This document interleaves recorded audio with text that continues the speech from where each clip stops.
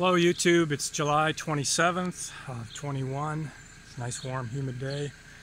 Out here working, I'm showing you the cornfield. There's about 100 acres of corn here. It just started tasseling. Looks really good. We had a couple inches of rain two days ago. Prior to that we had an inch in seven weeks. Um, we'll see we'll see how it turns out. I did a pretty good job on the weeds, but that's not what we're working on today. And actually you might be able to see, I don't know if my finger will show it, that little brown patch over there is a test plot of spring wheat and that's going to be next to be harvested. In order to do that, I think I'm going to use my bean head rather than swath it because my weed pressure isn't very high. So to that end, we got the bean head out, and Dad is over here changing some uh, cutter knives, which are these knives here that go back and forth on the sickle bar, and they're trapped by these guards. And occasionally they break off and uh, need to be replaced. So that's what uh, El Tio is working on today. He's replacing all those bolts. Here's some parts. $270 worth of odd parts from John Deere. But the big project, this is the bean header cart that you pull in with the combine and it nestles in here so you can pull it down the highway because being 27 odd feet wide, you can't go down the highway. The issue was there are supports. Majority, big part of the weight's resting on this and on this.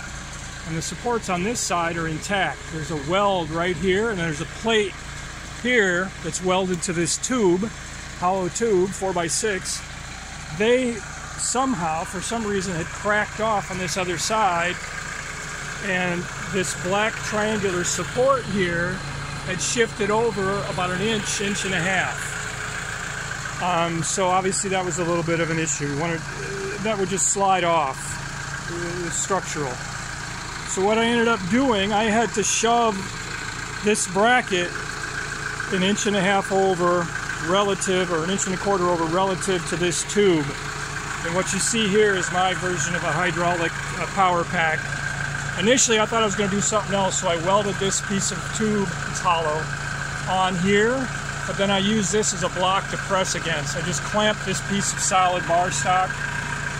This tube ended up tack welding that little tube there, and then I made wedges uh, out of plate. I just cut them out of plate, and I drove that wedge in between that piece of welded tube and this is a small piece of I-beam that's clamped to that so that the load from this wedge is hopefully spread out enough over this this support bracket where it won't just put a, a, a bend, a kink in the middle of it.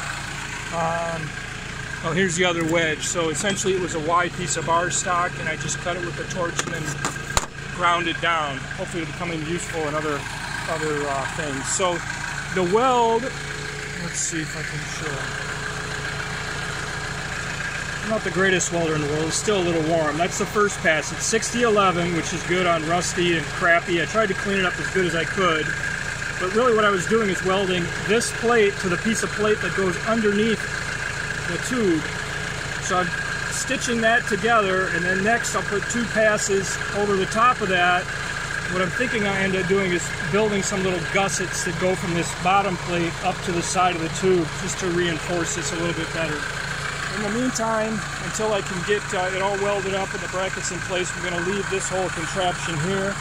But, and the tractor was just here just in case this tube slipped. It was pretty heavy. I don't know what it weighs, 500 pounds. And just as a safety measure. So we could take that off now. I'll get back to welding with my uh, cheap Chinese stick welder, which has worked really well for me for five years.